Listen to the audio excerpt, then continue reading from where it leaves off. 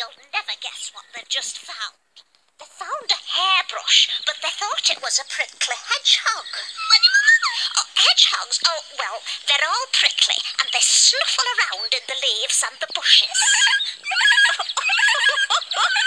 all right, Ribble, love, steady on. Ribble, you're getting right under my wings with your snuffling and your fluffing. it's tickling. Yes, I know you're being a hedgehog, love. At least you've not got prickles on your back. that would be uncomfortable.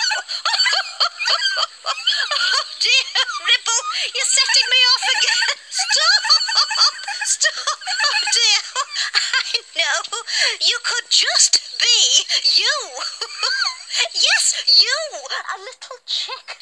That's who I love the